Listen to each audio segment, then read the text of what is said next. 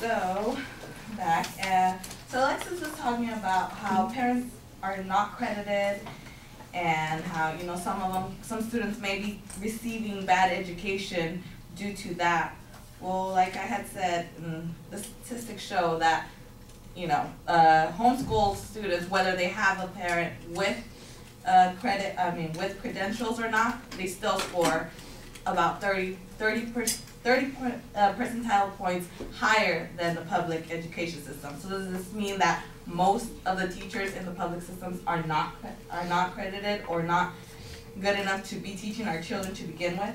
Um, Alexis was also saying that private schools have more flexible hours and that should be something else that we should look at. Well, a lot of people cannot afford um, private schools. Private schools are actually pretty expensive and you know, that's why a lot of people choose to just send, well, have to. They don't have the choice, but they have to send their children to the public school system. But I mean, obviously now if we could see that it's actually less expensive to, to homeschool your children. Um, also, uh, we wonder where the, all this time go, I mean, is that, are children learning, do they, out of the seven and a half hours that they go to school, are they really spend, do they really spend that whole seven hours learning something? Studies show that in a standard U.S. school day at the average American public school, approximately only one hour and 15 minutes goes to actual learning.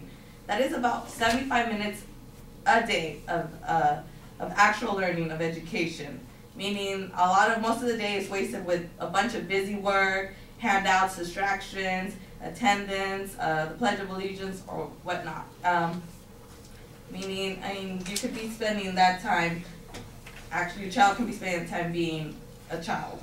Also, another effect of things is, uh, well, the big rise of bullying. I mean, statistics show, according to statistics, statistics reported ABC News, nearly 30% of students students are bullied, bullies or victims of bullying. Also, each day, approximately 160,000 students miss school for fear of being bullied on school grounds. Meaning a lot of children are, you know, missing out on going to school just because they're scared that someone there will will bully them. Um, a study conducted by the University of Virginia found that the prevalence of teasing and bullying in schools directly increases high school dropout rates.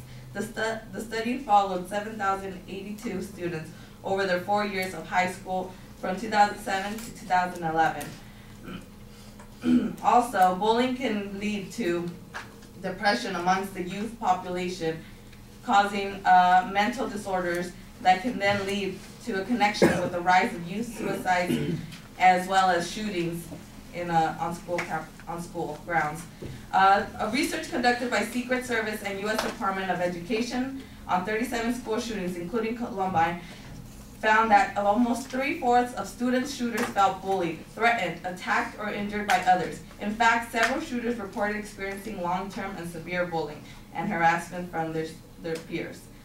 So, and then, you know, some of the beneficials to, to being homeschooled, uh, homeschoolers are beneficial to our society. The National Home Education Research Institute said that homeschoolers saved taxpayers $16 billion in 2000, 2006.